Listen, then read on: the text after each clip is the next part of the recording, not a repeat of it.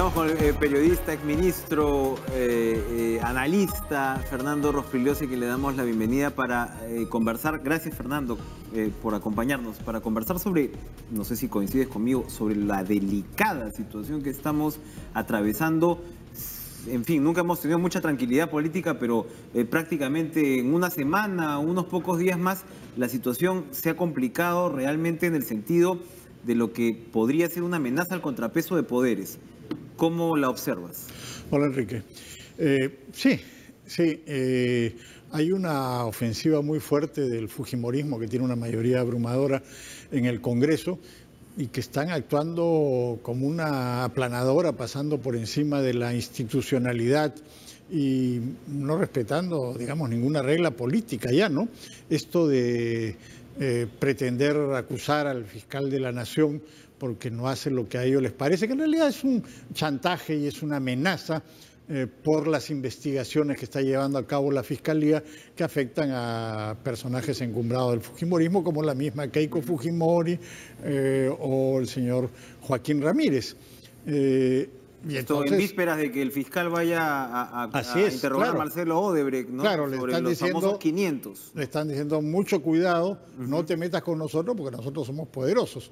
Eh, es una amenaza clara, no solamente al fiscal, sino a la fiscalía en general, a todos los fiscales que están realizando investigaciones. No avancen en esto, no se metan con nosotros y más bien denles duro a nuestros adversarios. ¿no? Esa es más o menos eh, la idea.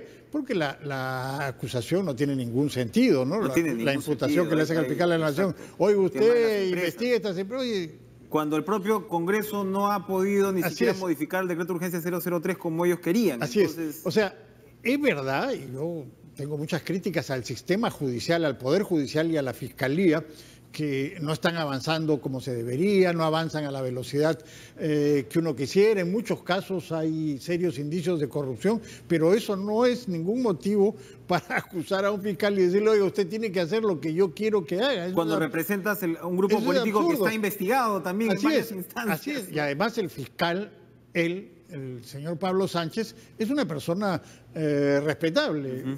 Se le puede criticar una serie de cosas, pero no se puede decir que es un hombre eh, corrupto que está haciendo cosas para favorecer a tal o cual persona o empresa. No es así. Eso, eso me parece claro. No es el caso de otros fiscales como el anterior, donde habían serias Por sospechas supuesto, sobre su pero- desempeño. Pero, pero que la En este caso- hizo en ese caso pues que terminara Claro. saliendo dentro de la propia estructura Así de la es. fiscalía. ¿no? O sea, en este caso es absurdo. Y, luego está la acusación contra el Tribunal Constitucional que también carece de sentido. O sea, es muy discutible lo que pueden haber hecho estos cuatro magistrados.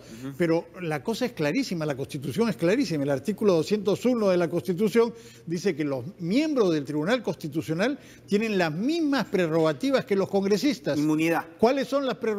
Artículo 93 de la Constitución. No pueden ser acusados por sus votos o por sus, o sus opiniones ante ningún organismo jurisdiccional. Y además es una cosa lógica. El Tribunal Constitucional a- y puede derogar las leyes que da el Congreso. Entonces, si el Congreso se tumba, los miembros del Tribunal Constitucional le está diciendo, oye, usted no puede meterse con mis leyes. Y es una represalia porque, recordemos, el Tribunal Constitucional se tumbó la ley eh, antitránsfuga, lo que eh, decían los fujimoristas antitránsfuga, que era para evitar que se descinda su bancada, que Kenji se lleve a un grupo, en fin. era, era una ley no les gustó que, que a ellos en ese momento. eh, Se les interesaba mucho. Tenían, que, o, o- o Claro. tenían el derecho de no cumplir la Y entonces tribunal. el Tribunal Constitucional, dentro de sus facultades, eh, tumbó esa ley, la derogó.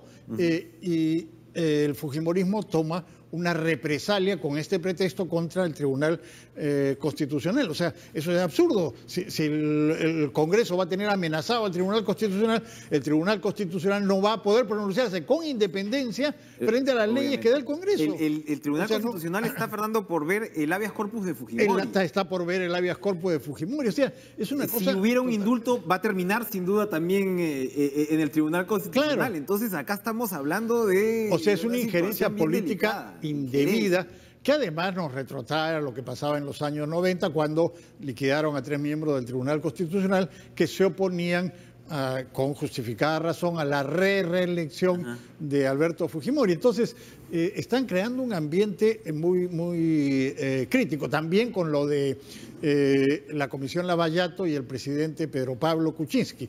Yo estoy porque el presidente eh, reciba la comisión y dé sus declaraciones ante ella. Creo que políticamente es conveniente, pero otra cosa es que se pretenda imponer eh, como ha dicho la Comisión de Constitución, lo que la mayoría de constitucionalistas dice que no se le puede imponer, que es a recibirla. Yo creo que es un error político del presidente, pero tampoco se lo pueden imponer. Aparte, es, eh, yo leí el informe que se debatió de la propia Comisión de Constitución, porque esto, el informe se lo pasan a los congresistas el lunes por la tarde o por la noche, es decir, vamos a debatir esto al día siguiente, el martes.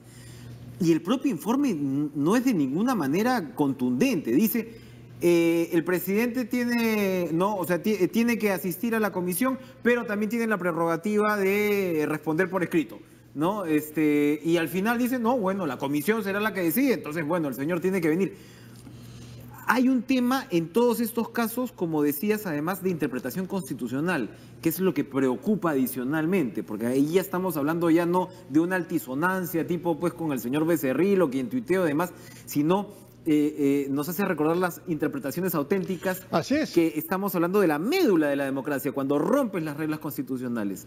Claro, y entonces entramos ya a una situación realmente crítica e incierta que crea más inestabilidad que la que ya tenemos. se ha abierto un nuevo capítulo de inestabilidad cuando el entonces Premier eh, Fernando Zavala presenta la cuestión de confianza, se tumba el gabinete y entonces un nuevo gabinete que caiga, pueden venir elecciones. ya se crea un ambiente complicado. no es el mejor, por eh, supuesto. y ahora, con este tipo de comportamiento de la mayoría fujimorista, ya la cosa eh, se vuelve muchísimo más delicada. Entonces, esto no ayuda para nada a, lo que tenemos ahora, que es el crecimiento de la economía. Antes decía, la economía va por un lado, la política va por otro lado. Ya todo el mundo está de acuerdo ahora en que la, la, inestabilidad política afecta a la economía. La economía que podría estar creciendo más seguramente ya se ve complicada por esto porque obviamente los inversionistas dicen, bueno, no sabemos qué va a pasar. ¿Cuál es el cálculo del Fujimorismo? ¿Cuál crees tú que es el cálculo de Keiko Fujimori? Veo eh, tweets también, comentarios de algunas... Eh, eh, en fin, blogueros, tuiteros, pues asociados al Fujimori, dice, bueno, basta de jugar este, con muñequitas, ¿no? Eh, no eh, todos tienen metralleta y nos piden a nosotros que juguemos con el florete, ¿no? Basta de... ¿Cuál es el cálculo ahí? ¿Hasta dónde puedes estirar esta pita? Yo creo que el cálculo es... hace algunos meses escribí un artículo sobre la trumpización del Fujimorismo, ¿no? que había gente dentro del Fujimorismo que creían que lo que había hecho el presidente Donald Trump en los Estados Unidos eh, era lo que tenían que hacer ellos, o sea, un conservadurismo extremo y romper todas las reglas, atacar a todo el mundo. Sí, y que ese era el camino para eh, llegar al, al poder. Y entonces yo creo que esa postura se está imponiendo, pero tiene un error gravísimo ellos no tienen un líder populista. Para tener esa fuerza electoral y política, tú necesitas un líder como Donald Trump o como Hugo Chávez. Puede ser de izquierda o derecha, no importa, pero necesitas un líder así que hable cualquier barbaridad y no una este, persona pues que da sus mensajes por Facebook. No es Keiko Fujimori, no le da el cuerpo, su personalidad no es así.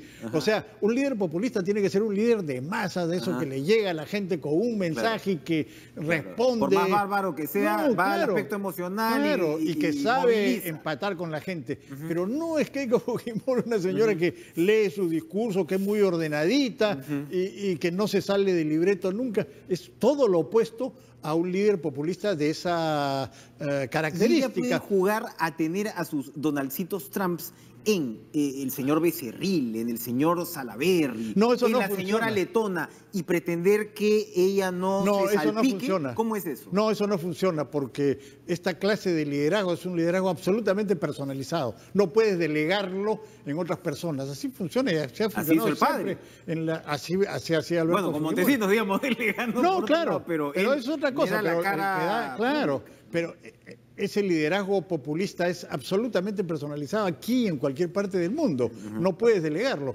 Entonces, eh, yo creo que en ese sentido se están equivocando. Si creen que ese es el camino para llegar al poder, pues eh, me parece que están errando. Adicionalmente, ¿no? adicionalmente no hay, no hay además un punto en el, en el sentido eh, de decir, de repente antes había gente que tenía dudas con Keiko Fujimori, ¿no? Tú mismo lo decías, Keiko no es el padre, no es el padre definitivamente, ¿no? Estaba el discurso de Harvard, ¿no? Estaba, estaban los esfuerzos de moderación.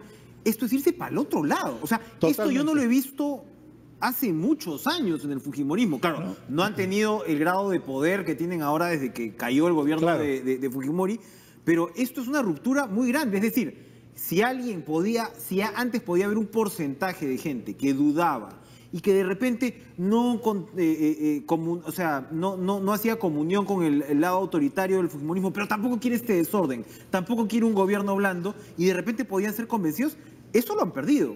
Así es, así es. O sea, en octubre del 2015 hubo el discurso de Harvard y parecía que el fujimorismo andaba en una onda más liberal eh, y de hecho eh, dieron eh, signos de ello, ¿no? Sacaron a varios conservadores de sus listas parlamentarias, en fin, parecía que había un viraje, pero de pronto pasan al otro extremo, lo cual muestra que no hay muchas convicciones. ¿no? No es un asunto de convicciones, sino más bien pareciera que es un asunto de estrategia política. Creen que este es el camino más directo para llegar al poder y para romper la ola, la, sucesión de derrotas que han tenido 2011, 2016, y entonces están ensayando este camino, ya que el, otro creen que les fracasó. Pero eh, yo creo que se están equivocando, que es un error. Tiene, para, para ir terminando, tiene, eh, eh, aludías tú a la personalidad de ella, cómo no empata con esta personalidad del, del superlíder populista, conservador de repente le queda algo por hacer al gobierno. El presidente Kuczynski tampoco, eh, eh, digamos, es, un presidente que, que, peche de repente, ¿no? Que, o que eh, y, claro, ahora hemos visto comentarios de Gino Costa, del señor congresista Ceballos, la misma premiera Arauz en contra de lo que está pasando, pero ¿hay algo más que pueda hacer el gobierno? Podría hacer muchas cosas, pero carece de liderazgo, pues, carece de liderazgo. O sea, eh, para empezar, tendría que haber un liderazgo en la lucha contra la corrupción. ¿Qué estamos hablando? De que dicen que el fiscal no lucha contra la corrupción, que el presidente no quiere recibir la comisión. Estamos hablando de lucha anticorrupción. Si hubiera un liderazgo en la lucha anticorrupción en el gobierno, si el presidente encabezara eso, no podrían hacerles estas cosas. O si las hicieran, eh, podrían eh, eh, quedar derrotados ante la opinión pública. Pero no hay un liderazgo en la lucha anticorrupción. Y no hay un liderazgo en la lucha de la defensa de las instituciones. O sea, el presidente es muy débil y está ocupado en otras cosas, ¿no? En atacar a los editorialistas o en plantear por enésima vez el asunto del indulto a Fujimori, dando vueltas sobre temas. Pero y no hay alguien en el gobierno que lo haga. No es la Premier sin duda y no hay ministros que saquen la cara, todos están protegiendo su puesto y entonces nadie asume ese papel. Entonces, lamentablemente, el Fujimorismo sigue avanzando como una planadora. Vamos a ver qué pasa, pero es muy, muy eh, eh, peligroso que, se dé esta situación. ¿no? se podría amisar con el gobierno en esa línea para, hacer este, para, pasar a integrar la línea de choque o eso es, este, eso es tan difícil como volver al discurso de Harvard. Eso es tan difícil como eso.